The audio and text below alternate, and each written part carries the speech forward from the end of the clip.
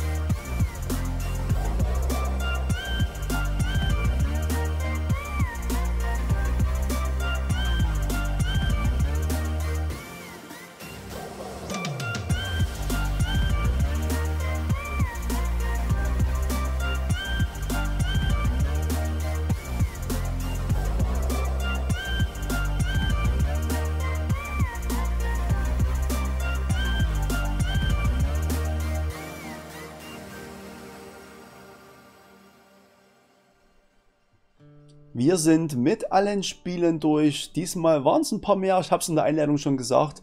Ich finde aber, das ist doch schon sehr wichtig gewesen, weil wir ja, wenn wir uns die Tabelle mal so anschauen, die FPS-Zahlen doch von extrem viel zu ganz niedrig schwanken. Das liegt aber vordergründig nicht unbedingt an unserem Threadripper mit seinen 12 Kernen, sondern hier limitiert ganz stark die XFX Radeon RX 570. Auch wenn sie 8 GB hat, der Chip an sich ist einfach ein kleines bisschen zu langsam. Das macht natürlich bei solchen Blockbuster-Titeln wie Red Dead Redemption Star Citizen, obwohl es noch nicht erschienen ist, aber das wird ein absolutes Grafikmonster und auch ein übelster Hardwarefresser, was er ja eigentlich jetzt schon ist. Da sitzen frisst Hardware zum Frühstück oder eben auch so Ark Survival Evolved, obwohl das Spiel schon ein paar Monate oder auch schon Jahre auf dem Markt ist, frisst das immer noch Performance ohne Ende. Und da sehen wir eben hier limitiert ganz stark die RX 570. Aber wir haben auch eine ganze Bandbreite an Games, wo wir sehr viele FPS rausholen. Das liegt natürlich daran, dass ich die Details mit dem ein oder anderen Game ein bisschen runtergeschraubt habe. Stellt euch jetzt einfach mal eine 3, 4, 500 Euro Grafikkarte vor, die ihr an der Stelle der RX 570 einbaut. Dann habt ihr durchgängig flüssige Framerates jenseits der 60 FPS. Und mit diesem Hintergrund finde ich das eigentlich besonders interessant, wenn ihr darauf geachtet habt, bei vielen Spielen werden diese 12 Kerne durchaus auch schon genutzt und teilweise auch richtig stark ausgenutzt. Ich hatte es ja in der Einleitung gesagt, vergleicht ruhig mal die FPS-Werte von den Spielen mit denen aus den Videos, was ich oben verlinkt hatte in der Infobox. Da sind wirklich spannende Zahlen dabei und dann werdet ihr mal sehen, dass dieser Red River mittlerweile eigentlich doch sehr gut zum Spielen sogar geeignet ist. Vor allem wenn man den Hintergrund bedenkt, das Teil könnt ihr für einen sehr günstigen Preis kaufen. Allerdings nicht auf den deutschen Markt, das muss man wirklich sagen. Zurzeit sind die Hardwarepreise ja eine absolute Katastrophe. Die kleinen Threadripper CPUs sind momentan gar nicht mehr zu kaufen, nur noch die großen 3000er. Die kosten aber auch ein Heidengeld und das Teil würde momentan gebraucht so 300, 400 Euro kosten. Das muss echt nicht sein. Ich habe das Teil aus China geholt für sage und schreibe 160 Euro. Also ihr seht, es muss nicht immer das krasseste, teuerste und neueste sein. Wenn man sich ein bisschen auf den Markt umschaut, dann kann man durchaus auch noch das ein oder andere Schnäppchen schlagen. Und ihr seht ja hier, wir haben richtig coole FPS-Werte. Mal noch ein ganz kurzes Wort zum Testsystem. Der Preis relativiert sich dann auch wieder ein ganz kleines bisschen, wenn ihr euch ein neues X399 Board kaufen wollt mit Sockel TR4. Das braucht ihr. Das Problem an der Sache ist, die gehen erst bei um die 200 Euro los und hören bei Open End auf. Also auch da ist es natürlich preislich nicht ganz so einfach. Könntet ihr natürlich auch auf den Gebrauchtwarenmarkt euch wieder umschauen. Das ist natürlich dann wieder der einzige Wermutstropfen. Ja, und die 32 GB habe ich jetzt nur deshalb eingebaut, weil wir brauchen sie. Man mag es kaum glauben, wer aufmerksam die Spiele Benchmarks angeschaut hat, dem wird es vielleicht aufgefallen sein, es ist ein Game unter diesen 13 dabei, welches mit 16 GB nicht mehr auskommt. Es ist, na, wer weiß es, Star Citizen. Dieses Game verbraucht so um die 18 GB Arbeitsspeicher. Also hier ist diese Grenze von 16 nicht mehr ausreichend. Ja, jetzt habe ich sehr viel über den Threadripper erzählt. Müsst ihr denn jetzt eigentlich direkt loslaufen und euch die CPU holen, noch eine geeignete Grafikkarte rein und dann habt ihr ein geiles Gaming-System für wenig Geld? Ja genau, ganz genau so ist es. Wenn ihr Geld sparen wollt und euch nicht unbedingt mit diesen extrem fetten Hardwarepreisen rumärgern wollt, die es momentan gibt und einfach mal ein bisschen Geld sparen wollt, dann schaut euch mal in China um. Bei AliExpress zum Beispiel. Die Threadripper 1920X kosten so um die 160 Euro momentan. Vergleichbare Prozessoren auf dem deutschen Markt wären zum Beispiel ein Ryzen 3 3200G, 3400G oder bei Intel 10400F. Der ist natürlich, hat nur 6 Kerne, trotzdem schneller als der Threadripper.